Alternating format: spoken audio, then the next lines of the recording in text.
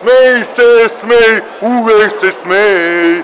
Najviše volim osmeh tvoj, ljubavi moja, živote moj, osmehu mi dušu greješ, najljepše si kad se smeješ i kad vodimo ljubav.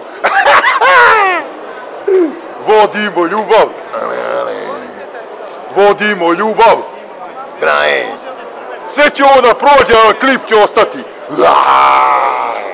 Smej se, drugarice, ne budi tužna, ne budi tužna. I ti isto, sa čajem. Šta će ti toki čaj?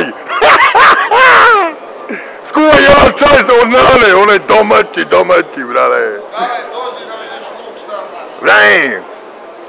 Kako si ti, druže? Dakle, nikako. Nemoj da se daješ materialistima, budi duhovni čovjek. Brale. Pogledaj šta znači lukac. E, gledaj, gledaj Luka, gledaj Luka. Gledaj, gledaj što ti radi. Samo luka, nego i spanać. Ej, spanać. Spanać. Popaj, popaj, voli spanać. normalno. Jedi spanać. Kako si kale da te ja tebe pitam? Pa, Kako je na pijaci?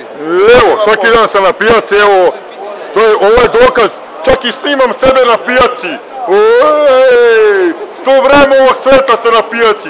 Ojej, možete me naći na pijaci. Ojej, kad pitaju kaleta, gospodare vremena, šta radiš? Pa idem na pijac. Pijaca me održala njoj hvala.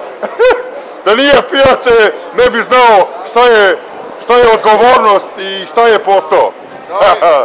A? I ti njega pozdravi. Nej. Tako, tako, čisti taj prazdnjeluk, čovječe. Zdravo, zdravo. Nije ti lako. Nije ti lako. Biće bolje, ali sutra. Danas ne može, danas je subota. Malo sutra. Malo juče.